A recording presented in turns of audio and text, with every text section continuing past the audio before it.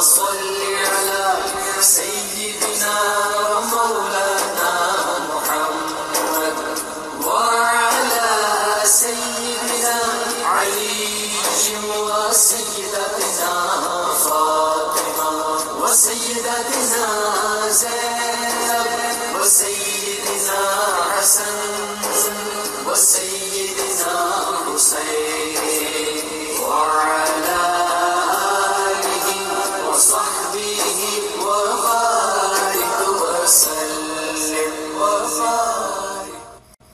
السلام علیکم ورحمۃ اللہ وبرکاتہ۔ کیا عید میلاد النبی منانا بدت ہے؟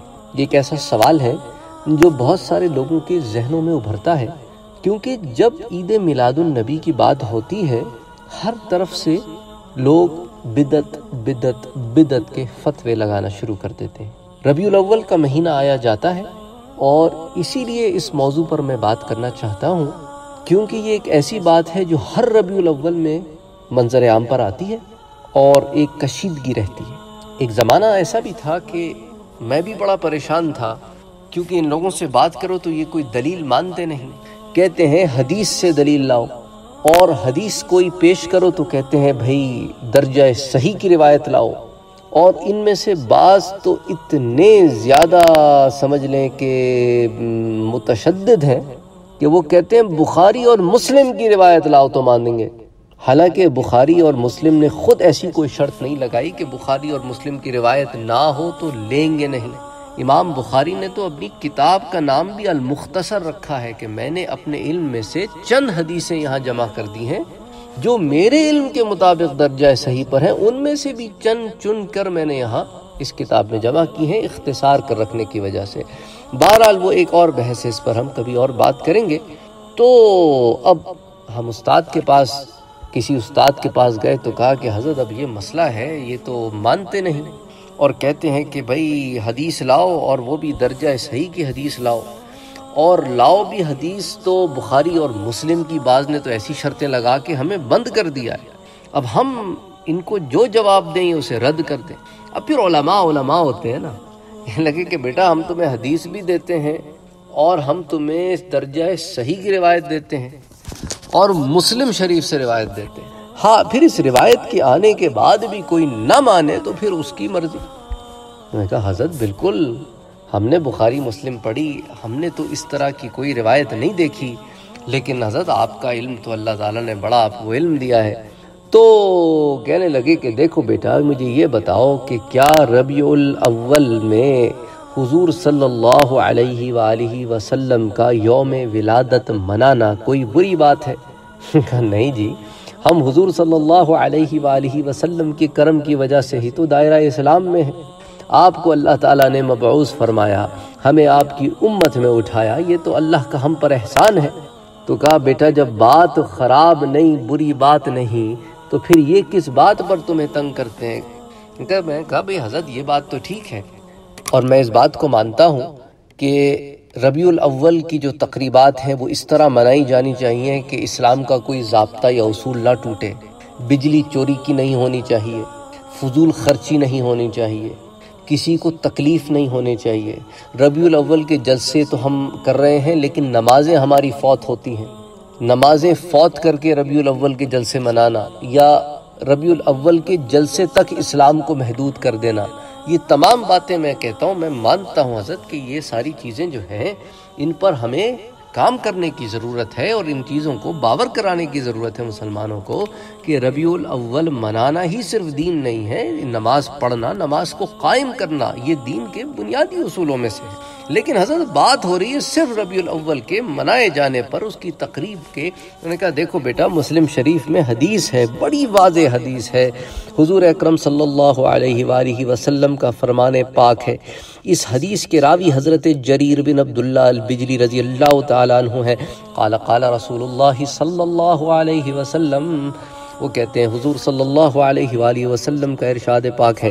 من سن فی الاسلام سنتا حسنتا جو اسلام میں ایک ایسی نئی چیز ڈالتا ہے، جو ایک ایسی سنت ہے، جو اچھی سنت ہے، جو فلاحی ہے، جو نیک کام ہے، جو لوگوں کو دین کے قریب کرتا ہے، جو رغبت پیدا کرتا ہے دین کی۔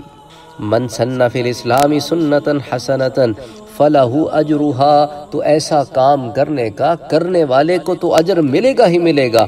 وَأَجْرُ مَنْ عَمِلَ بِهَا بَعْدَهُ، اور اس کو بھی اجر ملے گا جو بعد میں اسے رائج رکھے، جو اسے کرتا رہے۔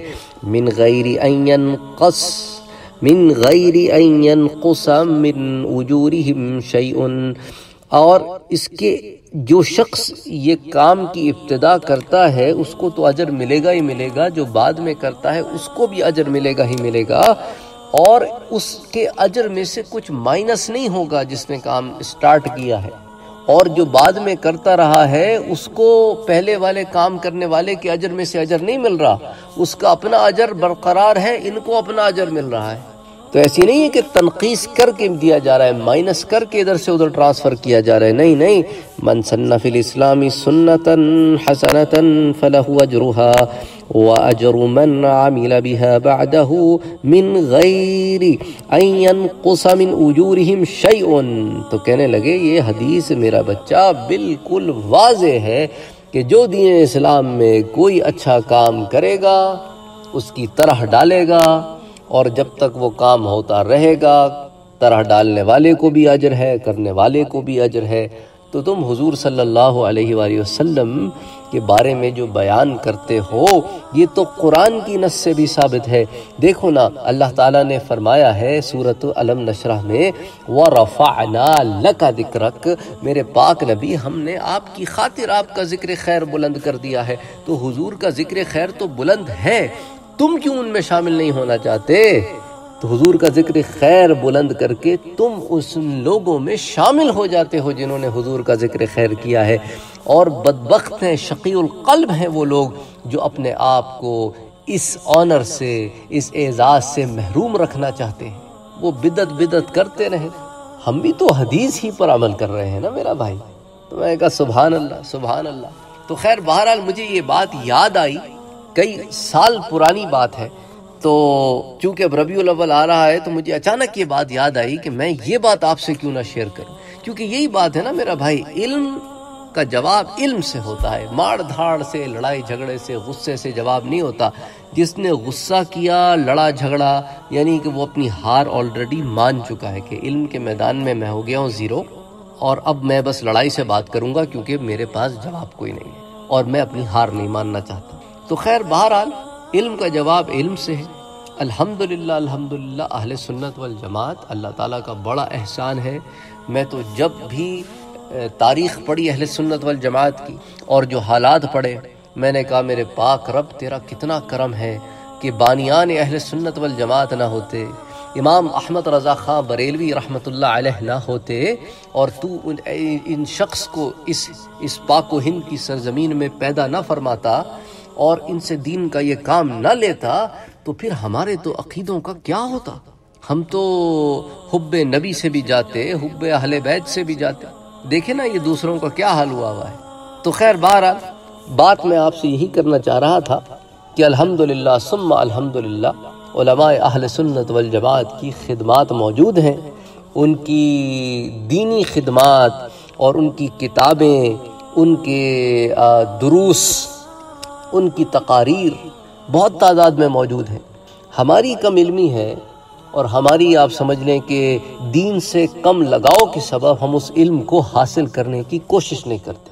اور دوسری ایک وجہ یہ ہے کہ افسوس کے ساتھ ہمارے اہل سنت والجماعت کے بعض علماء وہ دوسری چیزوں میں زیادہ الجھ گئے ہیں، جس کی وجہ سے علم بانٹنے کے بجائے وہ جوابات میں، مناظروں میں، ان چیزوں میں زیادہ الجھے ہوئے ہیں۔ تو خیر اللہ تعالی ہم سب کی ہدایت کا فیصلہ فرمائے۔ وما علینا الا البلاغ۔ السلام علیکم ورحمۃ اللہ وبرکاتہ۔